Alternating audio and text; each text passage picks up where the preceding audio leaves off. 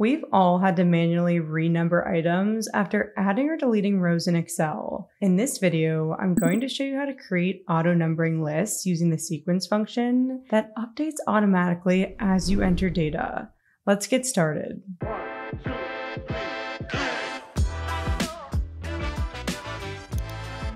Here we have a list of people attending a training session, and we need to number each attendee that gets added to the list. Instead of manually numbering each person every time we add someone new, we can create an auto numbering system using a couple of simple Excel functions. First, we need to build the numbered list using the sequence function. So I'm going to select the first cell in our numbering column and enter the sequence function. Next, we need to enter the rows argument, which is the number of rows we want in our numbered list. Right now we have five people attending the training, but if we just enter the number five here and press enter, this won't automatically update when we add new people to our list because we hard-coded the number of rows to five in our formula. So here's the trick. Instead of entering a fixed number as the rows argument, we can use the COUNTA function to calculate the number of people in our list, and the sequence function will return that result. So let's go back into our formula and replace the five with the COUNTA function to count the number of cells containing names in our list. Now we need to select the entire range that our list could potentially be. Don't be shy here. I recommend selecting way more rows than you'd expect because if someone enters a name outside of this range, the formula will not pick it up. Once you've selected your range, add the closing parentheses to complete the function and press enter. As you can see, our formula numbered each of our five attendees, and every time we add a new person to our training list, the formula automatically updates and numbers them accordingly. You can even take this a step further and make this a proper numbered list with a period following each number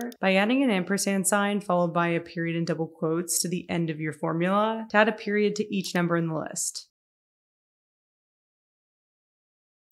Now you know how to create auto numbering lists that update on their own using the sequence function. If you enjoyed this video, don't forget to subscribe to our channel for more Excel tips and tricks.